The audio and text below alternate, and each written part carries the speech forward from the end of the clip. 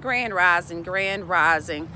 And as much as I don't want to say it's a happy Wednesday, I'm going to say it anyway because I, I, I have to make it a happy Wednesday despite how I'm actually feeling today. You know, um, this situation with George Floyd, um, the situation that occurred, I think, in New York and a couple other situations, hell, there's so many of them that it's beginning to become like a default uh, situation in our in our society. In fact, I'm saying beginning. It's always been a default situation in our society where people who have skin color uh, that has been categorized as quote unquote black um, have been mistreated in this America. And you know, I'm not one that's big in politics, although I do keep up with it. But you know, I, I haven't really been expressing my thoughts about politics because Just kind of, it's really not just not my focus right now.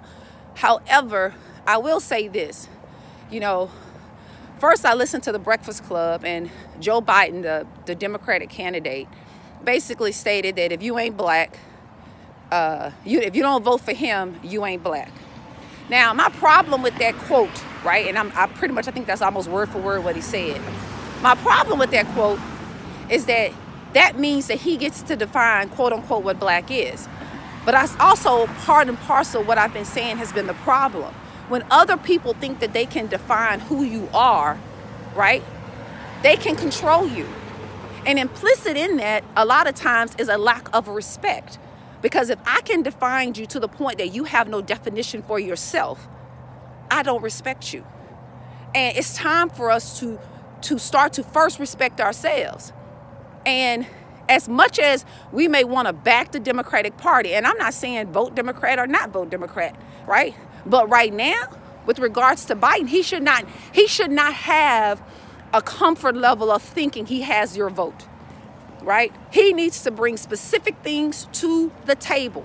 And one of the things that he could bring to the table is let's modify the policies and protocols with regards to police power the exercise of police power.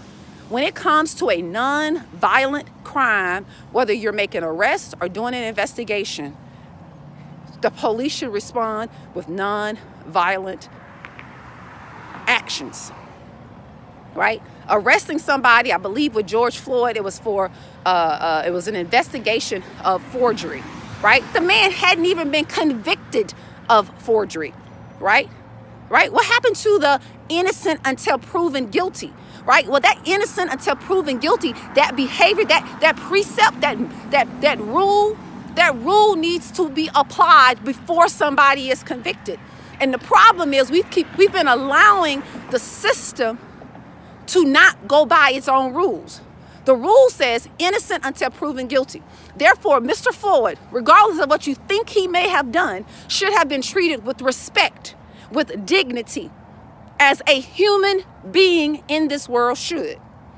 But that's not what we're getting because why? The system, the system doesn't obligate the treatment of all people as humans.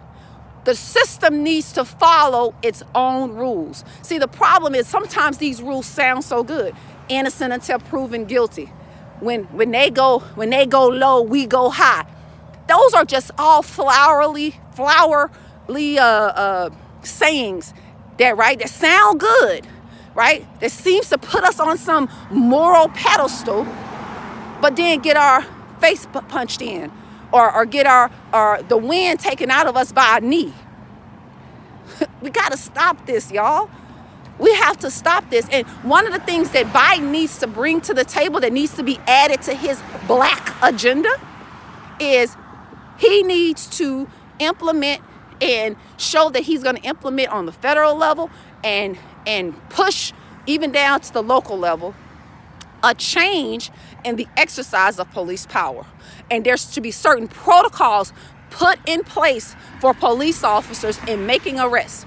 And they do not have unfettered, unchecked power to just do what they want to do when making arrests. Because again, you the, the system says you're innocent until proven guilty and it's time for the people to hold the system accountable for its own words and when you start to change the system right? Then the system will have impact on the people and the people will start to change. But it's time for us to stop thinking that a system that doesn't support us is going to rescue us. It wasn't designed that way. And when you start to do your own research and you start to break it down and you just take a moment and you just think, think outside the way someone taught you to think, right? And I know sometimes it can be insulting if somebody says you haven't been thinking, right? And I get it. I understand it. When I came to that realization, it wasn't easy for me. But I had to realize that I was thinking in a way that somebody else had trained me to think. The problem is it just kept putting me in a position of being in complaint mode and complaint mode and complaint mode. But it's time for that to stop. So anyway, I could rant on this all day, but I'm not. I'm out here. I'm finishing up my workout with a nice little walk. I do want everybody to have a happy, happy Wednesday. And um, my condolences to the family of, jo of George Floyd and, and all families that uh, have been affected in any kind of tragic way. Um, I definitely um, send my condolences. So happy Wednesday. Ashe, free thinkers. Ashe, may what you say manifest in your life today and every day. Ashe.